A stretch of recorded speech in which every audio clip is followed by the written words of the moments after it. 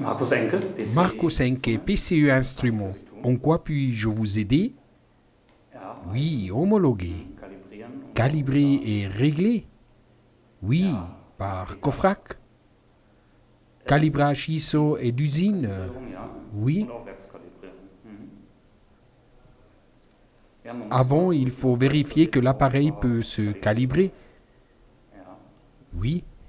Et vous souhaitez un calibrage pour 30 Monate. 36 mois. Bienvenue chez PCE Instruments. Comme vous l'avez compris, aujourd'hui nous parlerons de vérification, d'étalonnage, de réglage et leurs différences.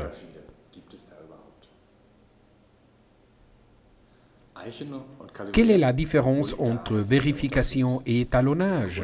Dans les deux cas, il s'agit en fait de comparer la valeur réelle et la valeur nominale. De même, il existe des différences à prendre en compte. La vérification, c'est confirmer qu'un instrument de mesure respecte la réglementation en vigueur relative à l'homologation. Cette vérification ne peut être effectuée que par le bureau d'homologation et seuls les appareils ayant préalablement reçu la conformité de leur modèle pourront être vérifiés. Les appareils qui ont besoin d'une homologation sont des appareils qui protègent le consommateur. Il s'agit presque toujours d'appareils qui, en échange d'une mesure, fournissent une prestation à prix déterminé comme par exemple quand on remplit le réservoir d'essence, ou pour ceux qui concernent le compteur électrique, ou le compteur d'eau, ou les balances qu'utilise le marchand de fruits ou le boucher. Dans ces cas-là, on mesure une marchandise en échange d'un prix. Pour protéger le consommateur, un bureau de vérification qui vérifie les appareils a été implanté par la réglementation.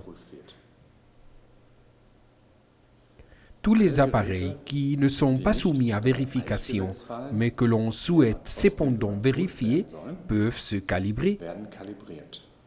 Normalement, on distingue le calibrage COFRAC d'un autre calibrage appelé calibrage ISO. Les calibrages COFRAC ne peuvent être effectués que par les laboratoires accrédités selon la norme DIN 17025. der deutschen Akkreditierungsstelle nach der DIN 17025 akkreditiert worden sind. La traçabilité à l'étalon national du calibreur que l'on a utilisé est garantie. Le travail dans les conditions environnementales spécifiées est garanti selon le type d'instrument à calibrer. Il est aussi garanti que le personnel qui effectue le calibrage a été soigneusement formé et qu'il possède les connaissances nécessaires pour réaliser la mesure, un certificat COFRAC et un document fiable à reconnaissance internationale. Le laboratoire COFRAC ne peut pas préciser la fréquence à laquelle il est nécessaire ou possible d'effectuer un étalonnage COFRAC, étant donné que cela dépend de plusieurs facteurs dans le domaine d'usage. Il est aussi important de connaître la façon dont cette mesure a une influence sur la qualité du produit final. Prenons l'exemple d'un fabricant de pompes hydrauliques. Elles sont généralement livrées avec un manomètre. Avant la livraison, le fabricant vérifie avec un appareil calibré ou un standard de calibrage que l'indication du manomètre coïncide avec l'étalon. Dans ces cas-là, nous recommandons toujours un étalonnage COFRAC. Toujours avec le même exemple de la pompe hydraulique, la situation change si l'on a besoin d'un étalonnage COFRAC d'un pied à coulisses pour la fabrication d'une plaque de description d'un produit. Cette mesure a peu d'influence sur la qualité du produit final. Dans ce cas-là, il n'est donc pas nécessaire d'effectuer un étalonnage COFRAC. Les certificats de calibrage qui ne sont pas élaborés selon les normes ou par les laboratoires accrédités par COFRAC sont des certificats d'usine ou ISO. Ils sont une alternative aux certificats COFRAC quand il s'agit de mesurer précisément avec des instruments, mais qu'il n'est pas nécessaire qu'ils soient un étalon.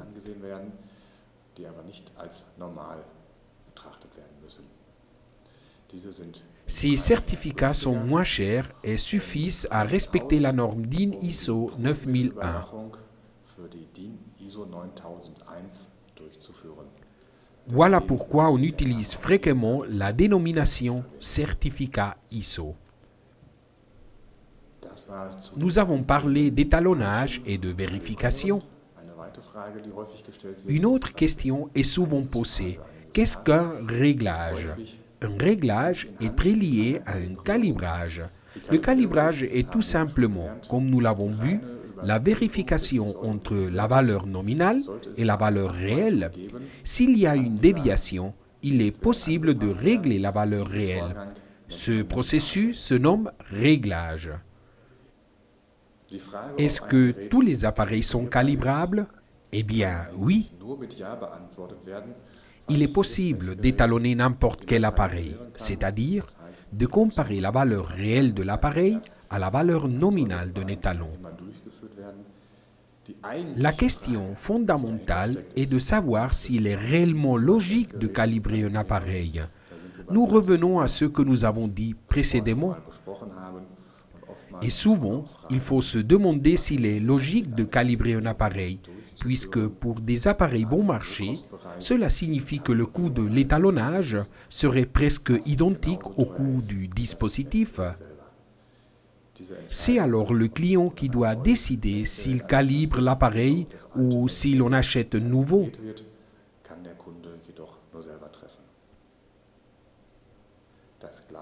Il en est de même pour l'intervalle d'étalonnage. La réglementation relative à l'homologation indique la fréquence à laquelle il faut vérifier le dispositif. Pour ce qui concerne les étalonnages, c'est le client qui le spécifie. Lui seul peut décider pour chaque dispositif et selon le type de processus, son application et son importance, le nombre d'étalonnages qu'il a besoin de faire ou les intervalles d'étalonnage. Mais le client doit tenir compte d'une chose. L'étalonnage ne fait qu'indiquer qu'à une certaine date et dans certaines conditions spécifiques, ces valeurs de mesure ont été obtenues.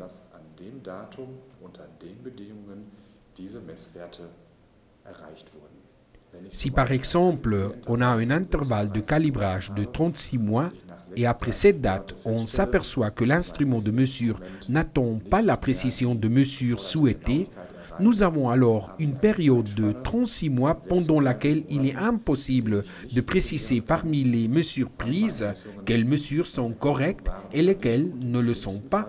Dans le pire des cas, cela peut signifier qu'il vous faudra retirer tous les produits fabriqués au cours des 36 derniers mois.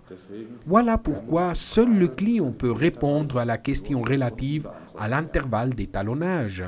Il existe bien entendu des exceptions où des institutions externes indiquent l'intervalle d'étalonnage, comme par exemple pour les détecteurs de gaz, où les associations professionnelles indiquent la fréquence à laquelle ils doivent être étalonnés. Mais encore une fois, ce sera le client qui devra établir les domaines d'application du règlement et l'association avec laquelle il va travailler. Le laboratoire de calibrage ne peut pas le déterminer.